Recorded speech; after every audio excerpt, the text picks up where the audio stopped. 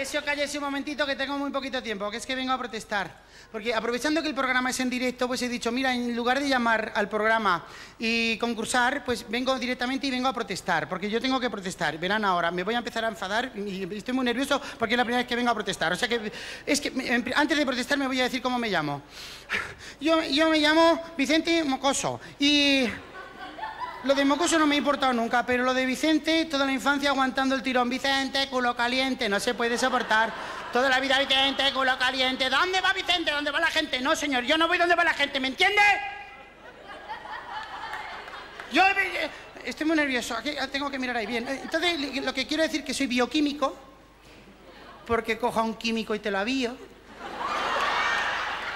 Bueno, y vengo, y vengo porque estoy nervioso porque yo tengo que protestar, señores. ¿Quieren ustedes hacer el favor de aparcar bien el coche? ¿Les importaría, por favor, aparcar ustedes en sus casas? Por favor, ¿quieren aparcar bien el coche, por favor? ¿Por qué aparcan mal el coche? Por favor, pero si no cuesta nada, aparquen bien el cochecito. Oiga usted, yo a usted no le conozco de nada. Porque tengo yo que estar un momentín según su reloj y media hora según el mío esperando que usted venga a quitarme el coche para yo marcharme a la mía. Oiga, por favor, aparquen bien el coche, porque el coche es un invento maravilloso, el automóvil es un invento maravilloso. Empezó cargándose al caballo y va a acabar cargándose al hombre. Se me está cargando a mí los nervios, que eso ya bastante. Es oiga, usted es que no hay día que no salga de casa que no me encuentre mi coche prisionero.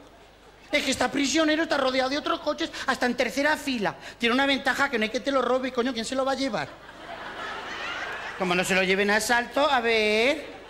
Está todos los días así. Ahora yo con qué cara voy a una manifestación en pro de las 35 horas mensuales. Si en mi trabajo me llaman febrero porque no llego ni a las 30. A mía, por Dios, todos los días igual. Es que sale. Ay, ¿qué ha pasado? ¡Uh, qué susto! ¿Qué ha pasado? Es como estoy protestando. Bueno, pues estaba yo, como le estaba diciendo, todos los días por la mañana es bajar a la calle, montarme en mi coche todos los días y al claxon pi, pi, pi, pi, para ver si viene alguno, me quita el coche y me voy tranquilamente. Lo único que consigo es despertar a todo el vecindario, todos despiertos, y quedarme sin batería. No sale nadie, me ignoran y yo le doy al pito lo mío. Pero lo mío, señora. Pues no me hacen caso al pito y lo tengo en ni caso. Oiga usted, viene la grúa que ni pita ni hace tido, dido, ni leches. Viene en silencio la grúa. Y es para la grúa al lado de mi casa.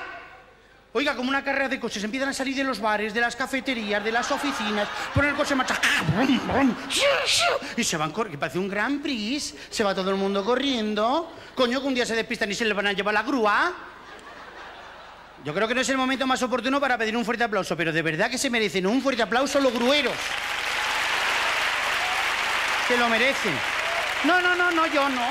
No, no, no. Los grueros se merecen el aplauso más fuerte de la noche. Yo no he visto persona con más celo que un gruero para su trabajo. Celo. No de pegar, no, de trabajar. Hija mía, son únicas, las únicas personas en España que no fuman mientras trabajan. No hablan de fútbol, no beben, bajan ya lo suyo, hija mía. ¡Qué productividad! ¡Coño! Pero si es que en un minuto vienen, cogen el coche, lo suben a la grúa y se van. Y mientras tanto el guardia le ha hecho una fotografía y te ha hecho la denuncia, hija mía. ¡Qué productividad! Así que acabo todos los días que tengo que ir en el metro, que esa es otra. Coge el metro, salta la barrita. Me tocó el otro día al lado de mí un niño agarra así, lleno de tatuajes, lleno de piercing. Lo de los tatuajes digo yo que será que como no tienen boli, ni- o sea que no tienen papel para apuntarse las cosas, se las apuntan así en la piel, se ponen letras por aquí, garabatos por allá. Llevaba piercing, llevaba aquí uno atravesado el labio, un tornillo que para dar un beso a la boca había que llamar a un mecánico, una tuerca aquí. No, llevaba uno en la nariz aquí, tal que aquí en la nariz, que era como un moco brillante por la parte de fuera. Yo no sé si le di alergia a él o él me la dio a mí y hace ¡achí! Mira. Pegó un estornudo, se puso la mano así. El piercing cogió presión. Mira.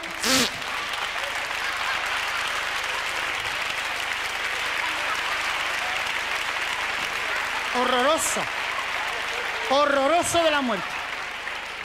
Horroroso de la muerte. Mira, me pegó un pisazo en el ojo que no me dejó tuerta como la niña de la Puebla de casualidad. Y dije yo, el, el domingo, dije yo, el domingo, hoy bajaré y estará mi coche libre. No me lo habrán pillado. Abro la puerta de casa y mi coche estaba acojonado. Una manifestación de anti- antitaurinos. De esos que no le gustan los toros, porque no habrán probado el rabo. Porque no lo habrán probado. Claro, es que me sofoco. ¿Por qué no le gusta a usted los toros? Los toros son maravillosos. Una pancarta enorme encima de mi coche que decía, tú eres uno de ellos. Y se veía un toro con una cosa colgando.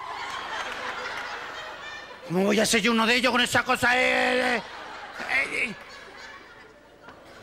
Lo que sí que habría que ti- titularizar... habría- Es que, estoy muy, nervioso, es que estoy muy. Ah, Lo que sí que habría que priorizar, estoy, estoy, muy nervioso, priorizar, es la presidencia de las corridas de toros taurinas. Porque yo es que estoy muy nervioso. porque no, yo no entiendo cómo puede haber un presidente en una corrida taurina que salga al toro, que haya 24.000 espectadores, que ven que el toro... Estaba usted también. Estaba usted también. La he pillado. La he pillado.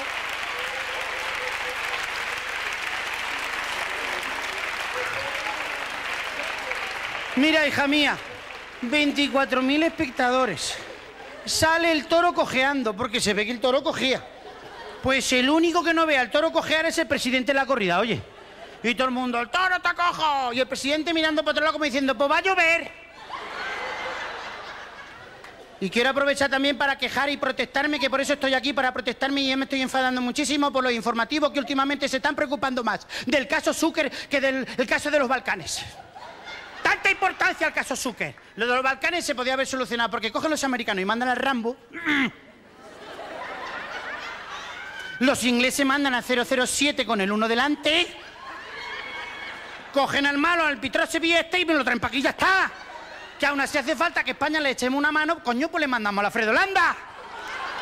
Tendrán que reírse las criaturas también, ¿o no? Tendrán que reírse, pues habrá que mandarle a alguien, digo yo. Por eso he venido yo a caigo. No, claro, porque tendrán que reírse la criatura. O no se están riendo del osito barato que ha comprado el Zucker a la Ana Obregón. Todo el mundo riéndose de los sitios de la nave. Hombre, por favor. Claro, porque como ellos están acostumbrados a gastar tantos miles de millones de pesetas en cualquier cosa para tenerla sentada en el banquillo, cuando una persona va a una tienda normal a comprar una cosa normal a un precio normal, a la gente no le parece bien, le parece mal. Eso dice el Tosac. El Tosac. ¿Qué te parece el apellido? Tosac. Coño, que tiene apellido de catarro. Tosac, Tosac. Tosa usted, coño, déjame a mí tranquilo, voy a toser yo, porque tengo yo que toser.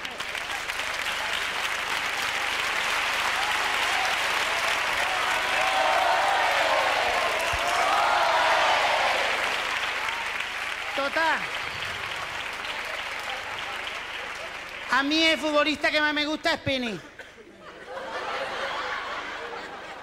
Cuando escucho por la televisión penetración de pene, déjalo, déjalo. Déjalo que penetre, déjalo.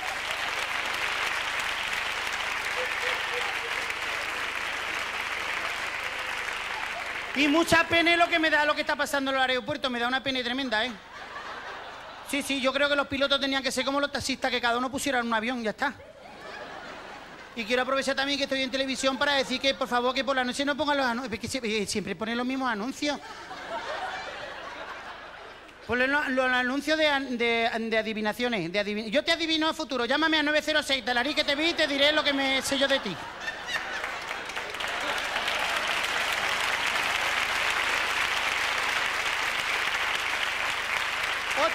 Otro. Llámame a 906 y te diré lo que las gemas me han contado de ti. ¿De, de mí qué te van a contar a ti las gemas? Las gemas a mí no me conocen de nada y no te tienen nada que contar. La otra, llámame al 906 y te contaré lo del horóscopo y tal y cual. Bueno, un día ya me cansé, me armé de balón, me fui al banco, cogí medio millón de pesetas y digo, voy a llamar. Llamé a todos los números y no me acertó ni uno. Fíjate, Fíjate lo que la adivinación. Dice una, te veo saliendo con una rubia. Dije yo de los toros. Dice otra, te veo saliendo con una compañera de trabajo en un crucero. Digo, como no vaya de azafata a ella. El único que adivinó fue Rapé. Ese me adivinó, porque me dice, dice, te veo de las manos de dos niños. Y digo yo, ¿dónde y cuándo? Oye, se cortó el teléfono. Mira que el cabreo que te entra cuando se te corta es lo mejor que se te corta, que se te ha cortado. Y claro, aunque tú te cabres y le digas al teléfono, maricón, el teléfono te dice tú, tú, tú, tú, tú.